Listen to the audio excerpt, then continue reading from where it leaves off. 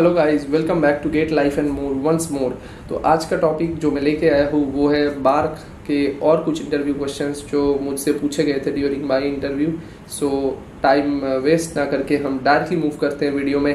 Let's go to the video so let's start with the questions that were asked to me during my BARC interview तो पिछले video में मैंने आप लोगों को बताया था कि पावर इलेक्ट्रॉनिक्स में क्या क्या क्वेश्चंस मुझसे पूछे गए थे और मेरे पैनल के बारे में। तो मैं वही चीज़ कंटिन्यू करना चाहूँगा। जो लोग मेरे पिछले वीडियो को नहीं देखे हैं I would advise them to please go and watch the previous video and then come to this video I will also provide the link in the description तो आप लोग देख लीजिएगा वो वीडियो तो let's continue with the same so so, uh, मुझसे जो questions पूछे गए थे पावर इलेक्ट्रॉनिक्स में वो तो मैंने आपको बता दिया है। तो मैं मेरा जो नेक्स्ट सब्जेक्ट था वो था इलेक्ट्रिकल मशीन्स तो उसमें जो नेक्स्ट इंटरव्यूअर थे उन्होंने मुझे पूछा कि सिंगल फ़ेज़ ट्रांसफार्मर का वर्किंग एक्सप्लेन करने के लिए।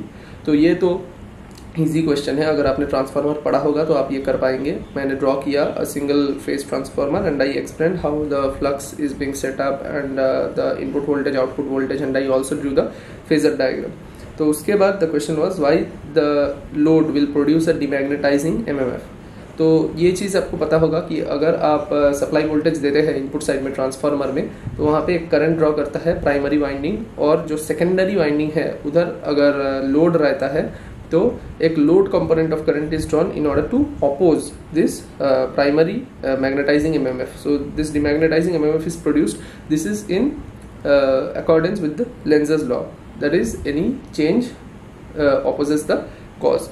Okay so then he asked why will the primary draw a load component? Okay so i answered that uh, the flux must be constant. So due to uh, the property of the material it will try to oppose the demagnetizing emf so he asked me whether flux is ac or dc okay i answered that it is ac okay so then he tried to confuse me by saying ki ac flux is so it is already changing. Then what is the need to draw that additional current? Because I said that the uh, load uh, component will try to oppose the magnetizing EMF okay it will produce a demagnetizing effect because the flux is changing. So he told me that it is already changing with time. Okay so what is the need to draw that additional current? Okay so uh, now I got a bit confused okay but uh, the answer would have been that uh, the uh, flux is constant in a transformer means the RMS value of the flux must be constant in steady state. Okay so so yes initially when the uh, primary winding tries to draw the current and the flux is being set up in the transformer the flux will gradually increase and the RMS value in order to make the RMS value constant the demagnetizing effect will come into play and as we know how the transformer works so that will be the answer now the next question was uh, the next question was uh, if I change the sense of the winding in the secondary then will it oppose? So I said that yes it will oppose. It depends on the dot convention. Okay the dot will change its position or same position? This was the question okay. So I said that if we change the dot position after changing the winding then it will oppose because uh, the dot polarity is uh, determined by the designer and uh, according to the dot polarity that is whether the current is coming out of the dot or going into the dot according to that the flux direction will change. So then the question was draw a simple resistor and a parallel line below it. I drew that and they asked me to derive the abcd parameters for this. So they moved to network theory.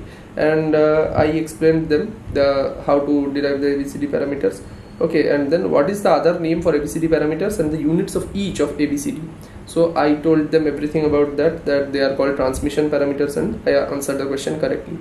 Then the question was now can you convert it to z parameters? Okay so i told them that by modifying the equations then uh, they asked me what is the equation for z parameters? So i answered this in matrix form. So they told me now draw a simple rlc circuit with a switch initially the switch is open and when i close it how will the capacitor voltage vary? So this question is a mixture of network theory and basic network theory and control system. That is you have to know uh, the damping ratio of the circuit and according to the variation of the damping ratio uh, the circuit will behave. That is whether there will be oscillations when it is under damped when it is over damped uh, like that. Okay so then asked, they asked me uh, that. So the next question was how does the damping depend on the resistor value? Okay. So uh, this is also the formula of the damping ratio for a series RLC circuit and uh, you can answer that. So what will happen if we increase the resistor to a very high value? Okay. So this also depends on the damping ratio okay? So answer accordingly and uh, the next question was uh, write the damping ratio expression for series RLC circuit. Okay. And then uh, okay. So the next question they move to another thing. That is how can you design a tank circuit using two inductances of 2 Henry each and a capacitor of 1 Farad with the condition that omega will be 2 radian per second. So this was a numerical type question and you can design this accordingly by the uh, omega formula and thinking about that. Okay. So the next question was if I provide a mutual inductance of 1 Henry between both the inductors and all other conditions remain same then how can you do the same thing? Okay. So they improvised on the same numerical. Okay. So you have to just think there and answer it. Okay. So another interviewer then started uh, asking me what have I studied in power system? Then uh, topics uh, like I said stability fault analysis and everything but I did not mention protection. So he asked me how can you increase the critical clearing time of a circuit breaker? Okay i got confused and said if you use a fast acting breaker you can decrease it so he said uh, no i am saying if you have 10 millisecond clearing time you have to make it 20 millisecond that is increase it without changing the construction of the breaker. So how can you do that? Okay so I thought about this question for a, a minute or two but uh, already it was past one hour and I was getting impatient. So then he understood that it will be difficult to answer within this time. So he said thank you and there my interview ended okay so I would like to advise you that whatever subject you study please study it thoroughly and they will try to confuse you and uh, they will also try to pressurize you. So don't uh, bend under that pressure.